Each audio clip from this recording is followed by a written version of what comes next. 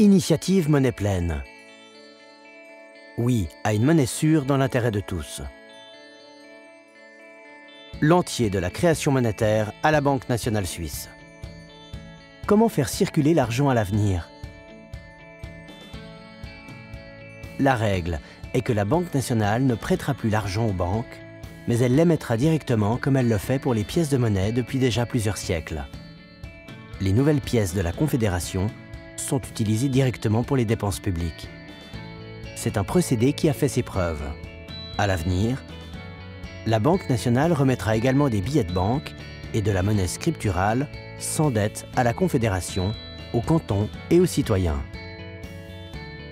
Ainsi, les bénéfices de la monnaie nouvellement créée reviendront à tout le monde.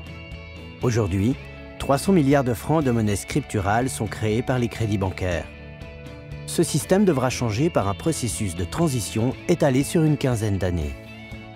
La monnaie créée par les crédits bancaires sera ainsi remplacée par une monnaie sans dette de la Banque nationale.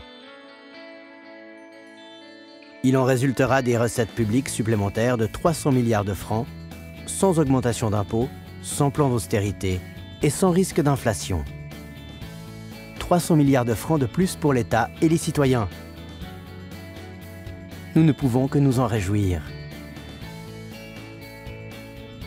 Participez au succès de l'initiative Monnaie Pleine.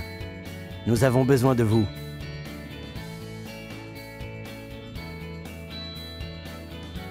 Pour en savoir plus, consultez le site www.initiative-monnaie-pleine.ch.